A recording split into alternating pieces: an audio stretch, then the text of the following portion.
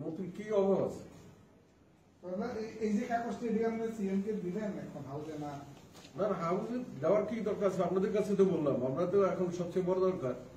আমরা কীভাবে তুলে ধরবেন এটা তো ওকে দেওয়ার দরকার না। পরে আমরা দেখি কি করুন হাউসে আমরা ম্যাটারটা তোলার পর যখন দেখলাম যে গভর্নমেন্টের রেসপন্সটা স্যাটিসফ্যাক্টরি না আমরা আমাদের গ্রিভেন্স এক্সপ্রেস করেছি।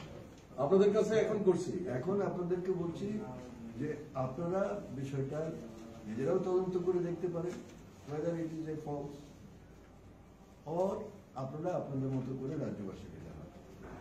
কিন্তু এটা অতি আশ্চর্যের ঘটনা যে রাজ্যে মন্ত্রিসভার কোনো সময় কোনো মন্ত্রীর বিরুদ্ধে এরকম জমি কেনাকারি কোনো অভিযোগ উঠেনি।